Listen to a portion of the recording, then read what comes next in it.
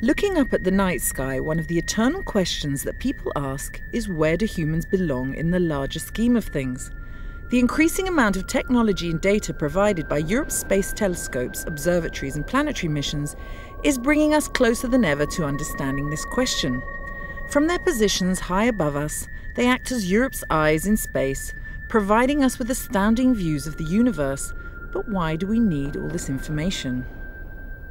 This is important to understand where are we and, and, and how the universe where, to which we belong was formed uh, and uh, how is it today and how it will evolve. Based just outside Madrid, ESA's European Space Astronomy Centre, ESAC, has an increasingly central role in ESA's astronomy and planetary missions. Directly connected to ESOC, ESA's Satellite Operations Centre, ESAC gets access to deep space antennae data from all over the world. ESAC is generally the first place where views from space are looked at and studied, where data on black holes, distant galaxies, and neighbouring planets is brought together to be analysed. To give astronomers access to ESA's observatory missions, astronomers from all over the world submit observing proposals in which they can request the use of satellite instruments to observe a particular object or area of the sky. ESAC is involved in every stage of this selection process. There is an announcement of opportunities for science analysis, and ESAC is contributing to that process with the selection of the best candidates to optimize the use of the scientific satellites. ESAC is involved not only in the selection process, but also in organising the planning for missions, the calibration of the instruments, and then supporting the processing and analysis of the data for the global scientific community. There are a lot of investments uh, uh, made on scientific satellite in order to seek uh, for life uh, in the outer world, in other planets, and to, to look for the origin of life. So this uh, uh, brings an enormous amount of data that has to be analyzed and studied and put at the disposal of the scientists because there are a lot of data, a lot of knowledge that is linked to this data. Here we do an important role, which is the calibration of this data and the translation of this data in a format that may be exploited by the scientific people.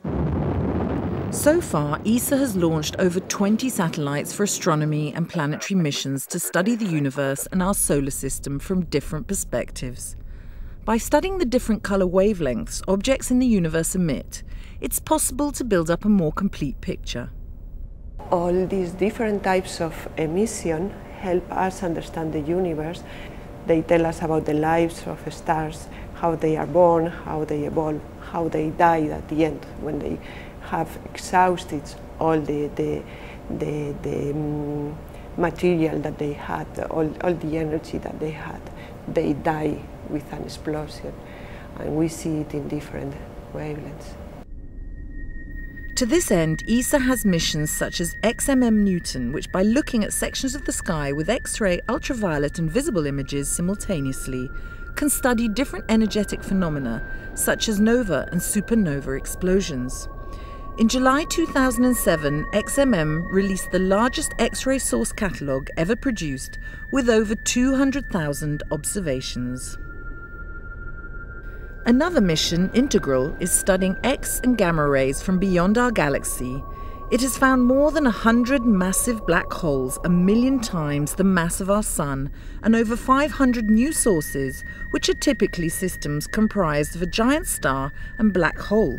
It's also the first astronomy mission to have detected hard X rays from the centre of our galaxy, hopefully providing a clue to the source of antimatter in the future. Studies of other mysteries of the universe are also planned. Missions such as Planck, intended for launch this year, are designed to study the nature of dark energy and dark matter, which theoretically make up 95% of the composition of the universe and could potentially be the driving force behind its expansion. ESAC also plays a major role for planetary missions, Data from missions such as Mars Express and Venus Express is collected and stored for scientific use. By becoming the European centre for all the data from these and other ESA missions, ESAC has a combined body of knowledge that is priceless.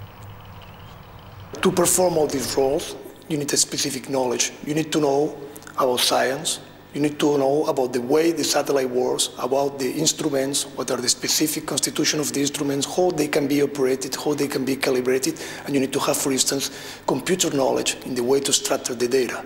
All that is an ensemble which requires a kind of combined knowledge. All that is here, all that is in ESAC. So now, when we look up at the night sky, we'll certainly know more about how the universe works with an increased awareness of the vast amounts of information that make up that knowledge.